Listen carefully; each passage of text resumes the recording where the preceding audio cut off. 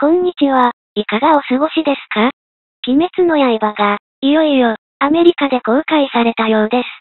テレビのアニメを見ていないとわかりにくいところがありそうなので、どうなるかと、思いましたが、それを抑えて堂々の2位でした。評論家もそこに言及するものの、それほどの妨げには、ならなかったと言っているようです。では、その評価、早速見ていきましょう。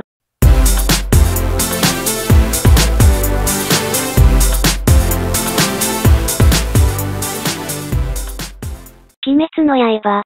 全米2位デビュー、外国語映画の新記録。批評家は何と言っているか。劇場版、鬼滅の刃、無限列車編が、今週末、アメリカでもついに公開された。アニメーション映画では、珍しい R 指定、17歳未満は、大人の同伴が必要、を受けたことで不利になったかと危惧されたものの、結果は予測を大きく上回る大ヒット。公開前には、週末3日間で800万ドルから1000万ドル前後の売り上げが予想されていたが、蓋を開けてみたら、その倍の1950万ドルだったのである。これは、外国語の映画として史上最高のオープニング成績だ。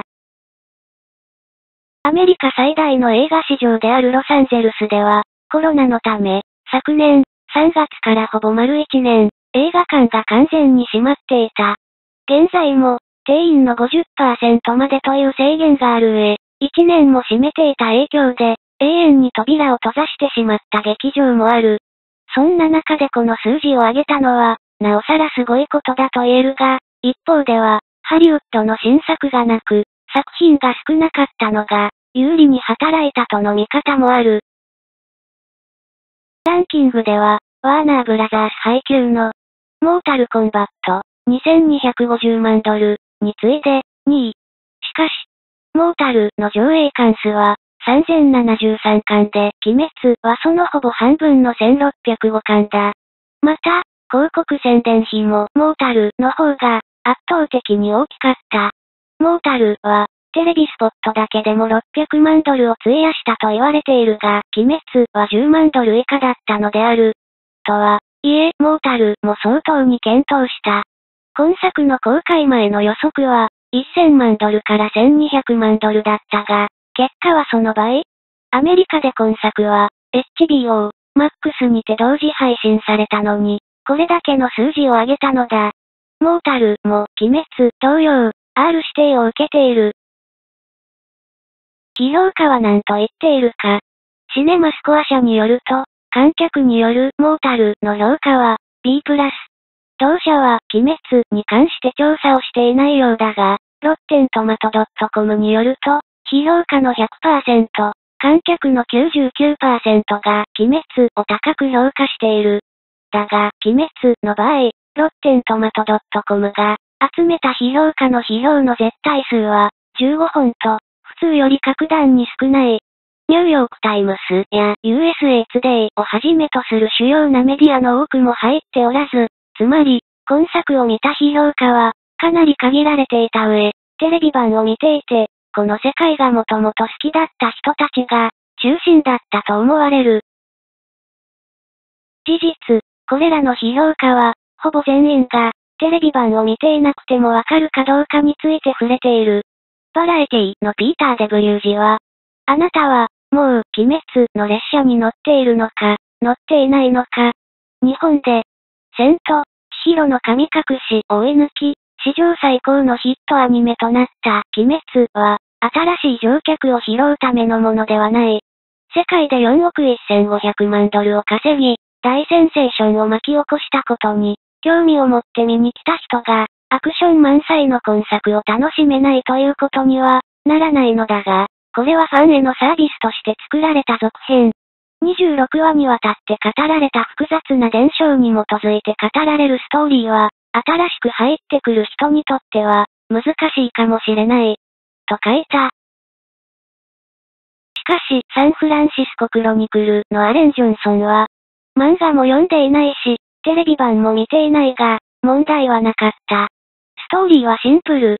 20世紀の日本と、見られる場所で、夜を駆け抜ける列車に鬼殺隊員が乗り込み、乗客を恐ろしい鬼から守ろうとするのだ。と、書いている。ジョンソンはまた、テンポが良く、カラフルで楽しい。今週、ベイエリアの映画ファンも、この速い列車に乗ることができる。とも書き、最高点に当たる4つ星を与えた。ロサンゼルスタイムズのマイケル・オルドーニャもバラエティのデビュー時に同感で、この映画は、ファンには、マスト。乗り遅れてきた人も楽しめるものの、時々わかりづらいかもしれない。と述べる。映画そのものについては、列車の中と、夢の中で展開するアドベンチャーは、心を引きつける。主人公たちは、文字通りの鬼と、戦いつつ、自分の中にいる鬼とも戦うのだ。出てくるのは、心に残るキャラクター。アニメーターたちは、時に極端なこともやりながら、実に豊かな表現をさせている。ビジュアルは、個性的かつ流れるようなしなやかさを持ち、ディテールまで美しい。レイアウトアーティストたちも、非常にリッチな感触のある環境を作り上げた。アクションは楽しく、一人一人のキャラクターに合わせて考えられている。これだけ人気があるということからも想像できる通り、イマジネーションは、とにかく素晴らしい。と、絶賛した。オブザーバーのラファエル・モルタメイヤーは、今作の優れたところは、伝統的な少年の冒険者にホラーを組み合わせているところだ。R 指定を受けただけあり、残酷さと怖さがあり、正直言って、アニメがこんな暗いところまで行くのかと驚いた。と、今作のダークさに言及。しかし、バランスが取れている上、それがあるからこそ、感情的なシーンがより心に響くものになっているのだ、と、書く彼は、キャラクターは、やや浅いかもしれないが、映画の最後に滝のように涙を流させるには、十分。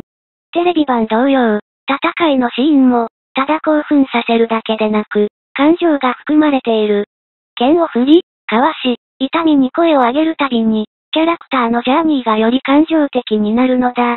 と、今作が感動を与えるものであることを伝えている。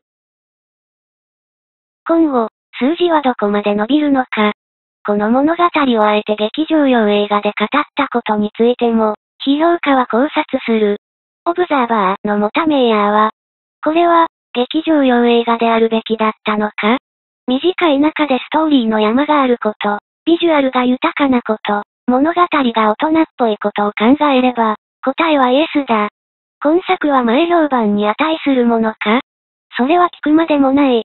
非常に高い期待が、寄せられる中で公開された今作は、テレビ版、第1シーズンがやり残した部分を引き継ぎ、主要なキャラクターの心の旅を先に進め、新たなキャラクターを登場させて、第2シーズンをより心待ちにさせる。純粋に観客受けするブロックバスターだ。と書く。デッドラインのアナ・スミスは、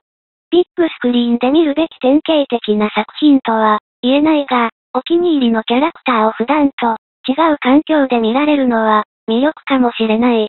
と述べ、長いロックダウンを強いられた後のアメリカでは、特に、このカルト作品を同じ趣味を持つ人たちと一緒に見られるのも楽しいだろう。とも書いた。今後の成績がどうなるかは、これらの評価やボックスオフィスの数字を見た人たちがどれだけ興味を持つか次第だ。アメリカの映画館でハリウッドのメジャースタジオ大作が、公開されるのは、まだ数週間先だし、今週末素晴らしい数字を出した鬼滅は、来週末も同じだけのスクリーン数をキープできるはずである。また、ワクチンを接種した人が着実に増え、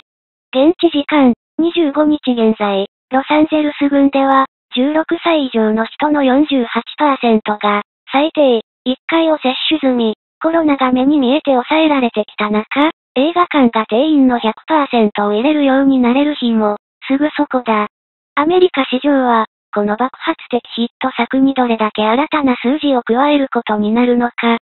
これからの数週間が注目される。